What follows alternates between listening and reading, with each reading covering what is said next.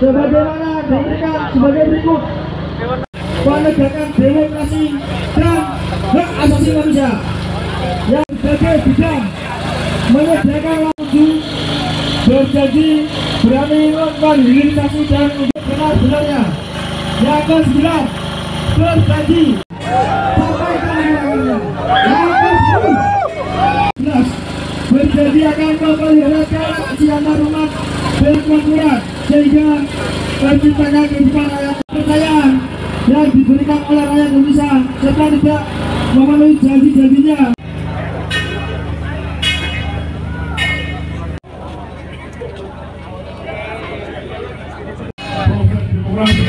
Oleh karena itu saya ulangi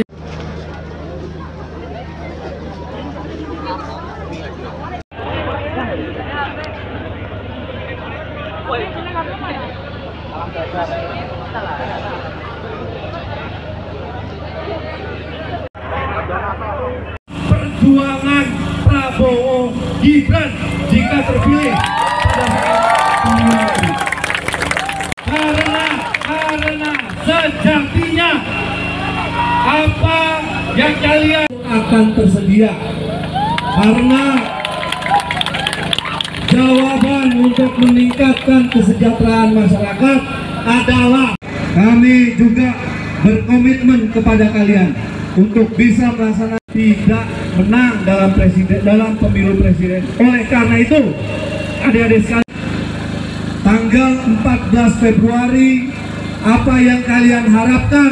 Pilihan kalian untuk bisa memenangkan pasangan ini. Temanmu saudara-saudaramu ke TPS untuk nyoblos aspirasinya sudah kita setujui sudah kita terima tapi 14 Februari apa-apa yang esensi yang ingin disampaikan lebih mendetail kepada kami. Setelah komit terhadap demokrasi kami mengundang Partai Gerindra.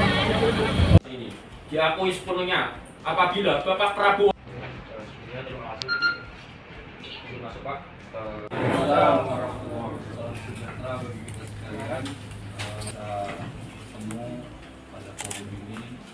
Saya Suryono Indonesia dengan menguatkan pertahanan dan keamanan negara. Yang kelima, berjanji industrialisasi memperkokoh posisi ekonomi Indonesia di mata dunia.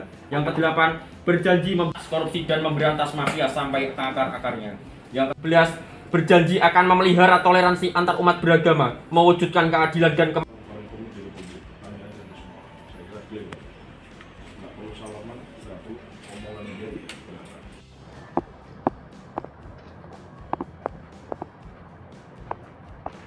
Semua bisa merapat.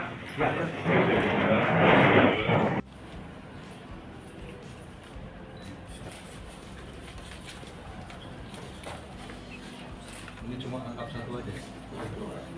Silakan lagi. Selamat Pak. Oke. Ini dari Semarang semua. Enak, bagus. Betul nggak Pak?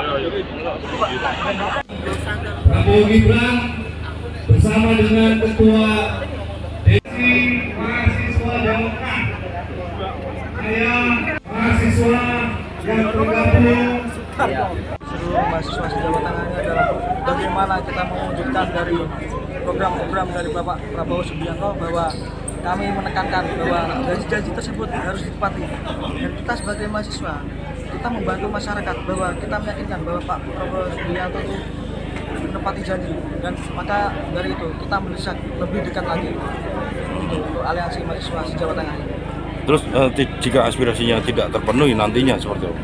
jika aspirasi tidak terwujud maka kita akan lebih bagaimana cara masyarakat untuk yakin kepada Prabowo Subianto dan kita sebagai mahasiswa untuk menyalurkan bagaimana jika tidak disalurkan atau tidak terwujud maka kita akan mundurkan diri atau kita berlain hati Mas, kenapa sih milih Prabowo Gibran ini?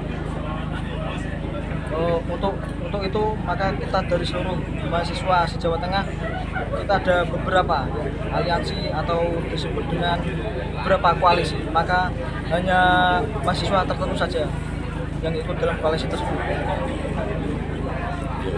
Mas, kenapa milih Prabowo? Jelas kan peng- pengem- mengemukakan pendapat umum ya pendapat di muka umum itu kan dilindungi undang-undang dijamin oleh undang-undang dan ini boleh di alam demokrasi dan kami dari Gerindra Jawa Tengah khususnya sebagai tempat yang menjadi tujuan dari rekan-rekan mahasiswa se Jawa Tengah ya ini aliansi mahasiswa se Jawa Tengah menyampaikan aspirasi-aspirasi di mana poin-poinnya itu menurut kami adalah poin-poin yang memang selama ini Partai Gerindra perjuangkan bersama Prabowo Subianto. Jadi terkait poin-poin yang dituntutkan itu kok kami merasa ada sejalan.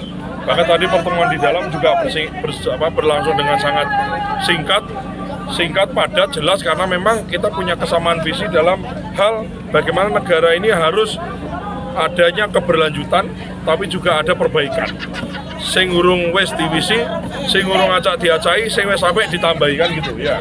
Kira-kira ada hilirisasi ada pemberantasan korupsi dan seterusnya. Jadi kami sekali lagi merasa sangat gembira dan optimis ya jika memang generasi muda kita ya walaupun saya juga nggak tua-tua amat gitu maksud saya dibandingkan saya adik-adik ini kan kira-kira 20 tahun ya dibanding 20 tahun di bawah saya punya semangat nasionalisme seperti ini ya. Jadi kami selaku lembaga Gerindra sangat antusias. Bahkan tadi saya tawari yang militan-militan masuk Gerindra boleh saya bilang gitu. Ya.